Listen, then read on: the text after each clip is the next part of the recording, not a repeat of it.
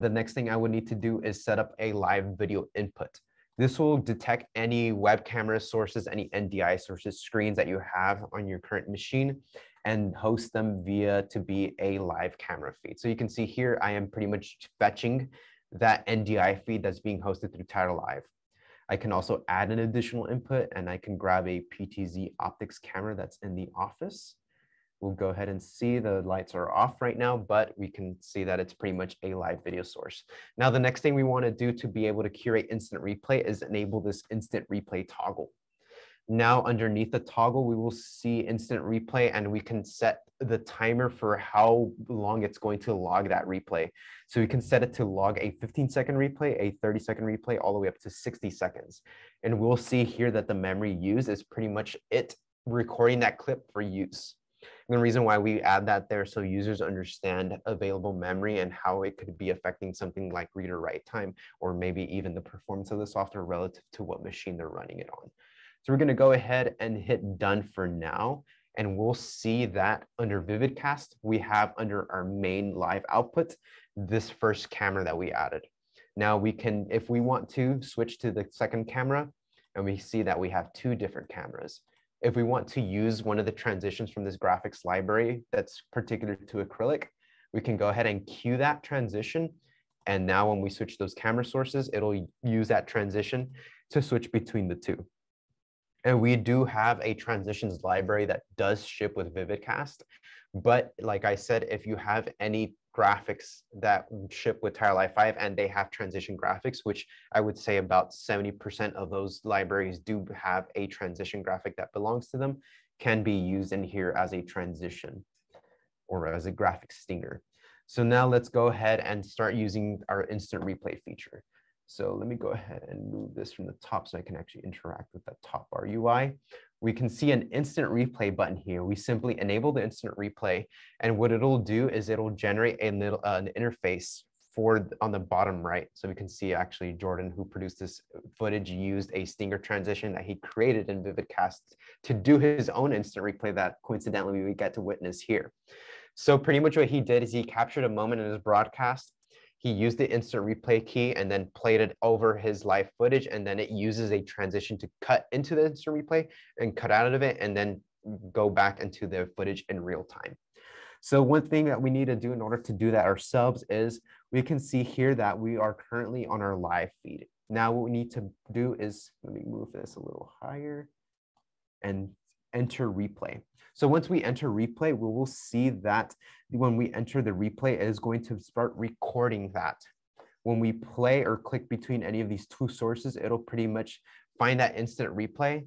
So we can see that the instant, the live monitor is this little tiny picture in picture here, but the cached instant replay is the larger monitor behind it. We'll see that playing in slow mo. We can also see the runtime for that replay until it ends.